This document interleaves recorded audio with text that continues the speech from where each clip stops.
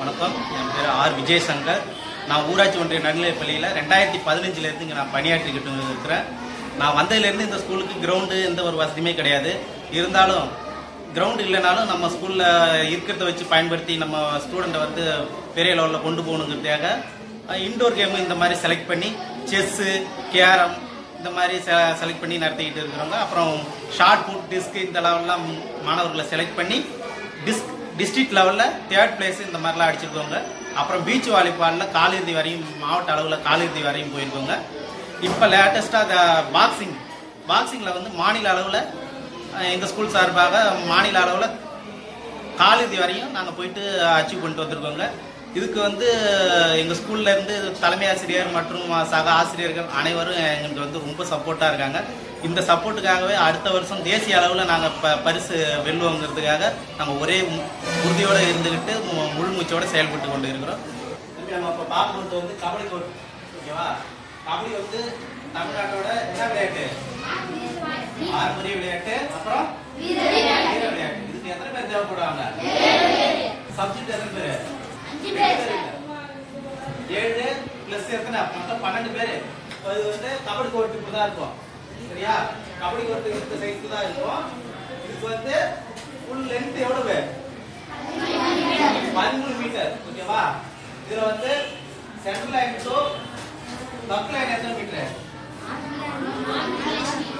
மூணு புள்ளி ஏழு அஞ்சு மீட்டர் ஓகேவா ஏழு இது வந்து பக் லைன் எதுக்கு இந்த பக் லைனை நம்ம கிராஸ் பண்ணிட்டு வந்தாதான் பாயிண்ட் தான் அவுட் கிடையாது. அதாவது சக்சஸ்ஃபுல் ரைடு அடுத்தது போனஸ் லைன்ங்கிறது என்னது?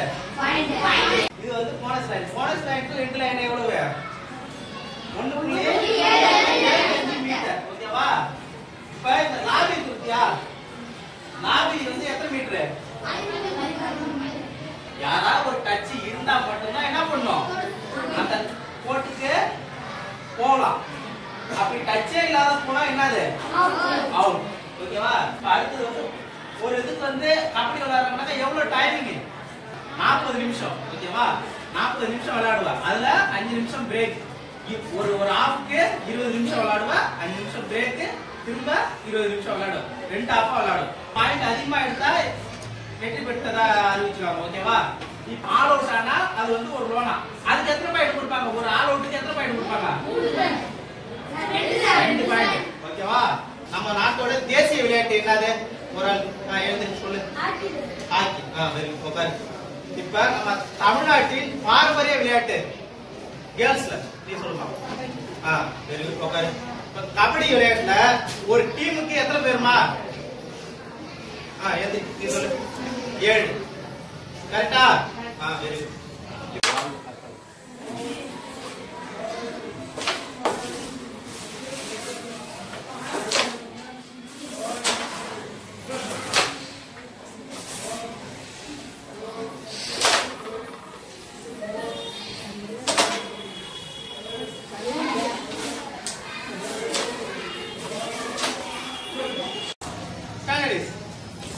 Attention.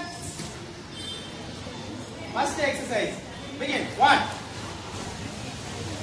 two, three, four, five, six, seven, eight, eight, seven,